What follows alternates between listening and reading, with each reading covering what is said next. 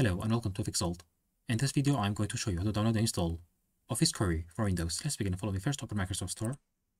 Then search for Office Curry.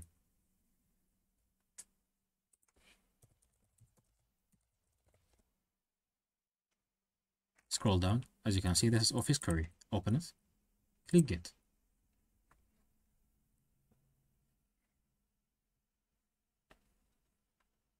It's downloading.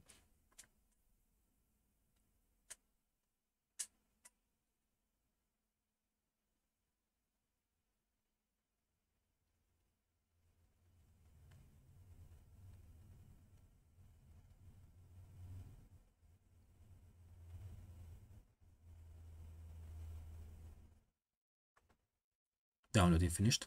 And installation complete. Click open. So, this is how to download and install Office Curry for Windows. Thanks for watching.